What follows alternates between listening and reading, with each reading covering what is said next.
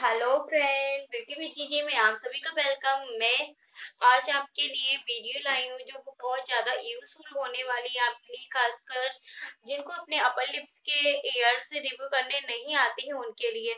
आप मेरे भी देख सकते हैं, हल्के हैं मेरे अपर लिप्स ये हल्के हल्के हैं यहाँ पर और इधर भी है क्योंकि मैंने कुछ दिन पहले रिव्यू किया था, लेकिन बहुत अच्छी ट्रिक से किया था जो आपको नहीं बता पाई थी मैं।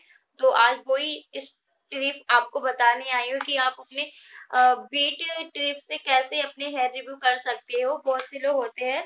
तो यहाँ पे मैं आपको पहले एक स्ट्रिप निकाल के दिखाती हूँ। ये स्ट्रिप इस तरह की है। तो आप कभी कभी एक गलती कर, से बीट यूज़ करने में एक गलती बहुत ज़्यादा हो जाती है। हम बीट को इस तरह से कट करते हैं बीच से इस तरह कट करते हैं तो वो कुछ इस तरह कट हो जाती है। कुछ इस तरह कट हो जाती है, जब हम इसको इस साइड से कट करते हैं, इधर से कट करते हैं तो ये इस तरह से कट हो जाएगी। स्ट्रिप को हाफ़ करके फिर उसको थोड़ा सा और कटिंग कर लें। आपको थोड़ा सा लेना है इसको। अपने अपर लिप से जितना हेयर होता है, उसकी जगह होती है अपर लिप्स के ऊपर। उतना ही आपको लेना है, जैसे कि यहाँ पर लिया तो यहाँ इस तरह से बहुत सी लोग अपर लिप्स के हेयर रिव्यू करते हैं, लेकिन इस तरह से अच्छे से रिव्यू नहीं होते क्योंकि यहाँ पर हमारी स्किन है ऊँची नीची होती है, इसलिए अच्छे से नहीं हो पाते। तो ये गलत ट्रिक को अपना अपना है तो जिस तरह से मैं आज आपको बिल्कुल सरल तरीके से बताने आई हूँ, जो आप अपने अपर लिप्स के हेयर रिव्यू कर सकते हो बड़ी आसानी से।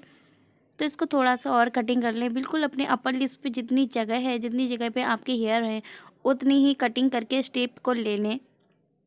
बराबर से तो मैं यहाँ पे बराबर से ही ले ली है मैंने। अब इसको बीच से थोड़ा सा और कट कर दूँगी। तो ये बीच से कट हो गई है।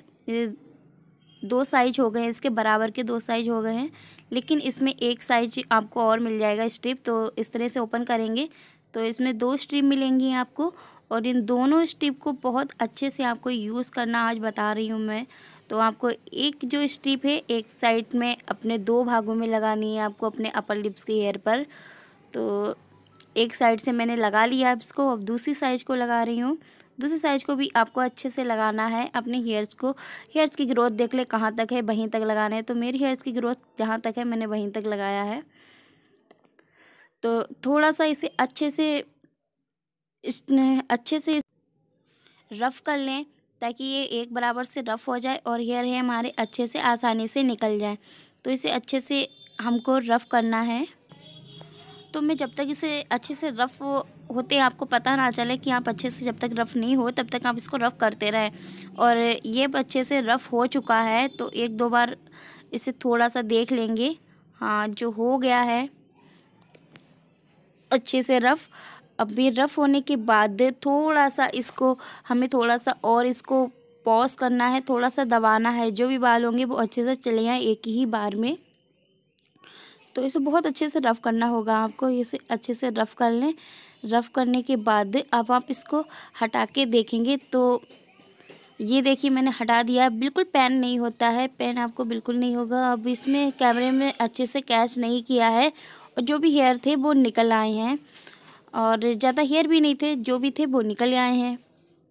आई होप आपको दिख रहा हो, लेकिन कैमरे में लगता है मुझे अच्छे से कैच नहीं हुआ। लेकिन आप साइड में देख सकते हो, हेयर्स काफ़ी ग्रोथ में निकल आए हैं। और आप यहाँ पे देख लिए, यहाँ पे बिल्कुल क्लीन हो गया है तो आप देख सकते हैं। और इतना अच्छा आपको स्ट्रीम में नहीं पता चल रहा होगा। तो अब दूसरी साइड में है, दूसरी साइड में भी हम इसको अच्छे से पहले ये देखिए, इधर के भी निकल गए हैं। थोड़ा सा हल्का सा पेन होता है, ज़्यादा नहीं। तो इस तरह से इसके भी हेयर निकल गए इधर के भी। तो इस तरह से अगर आप यूज़ करते हैं तो आपकी हेयर्स की जो हेयर होंगे, वो एक बार में निकल जाएँगे। आपको ज़्यादा और एक भी बेबी हेयर होती है नहीं यहाँ पर तो बेबी हेयर एक भी नहीं रह जाता है और आपको ज़्यादा देर भी नहीं लगेगी। और जो बीच का हिस्सा बचा है, उसमें एक आप दूसरी स्ट्रिप को ले लें, दूसरी स्ट्रिप को लगा लें और इसको भी आपको थोड़ा सा अच्छे से रफ़ कर लेना है, अच्छे से रफ़ करके निकाल देना है। तो ये निकाल दिए ये भी आप देख सकते हो फेस से पता चल रहा होगा आपको कितना यहाँ पे क्लीन क्लीन लग रहा है। तो आप देख ही सकते हो, अगर आपको स्टेप में नहीं पता चला तो आप फेस में देख सकते हो। दर्द सिर्फ़ इतना होता है जितना मैं बता रही हूँ आपको ज़्यादा कोई दर्द भी नहीं होता है। अब आप देख सकते हैं, एकदम क्लीन हो गया है।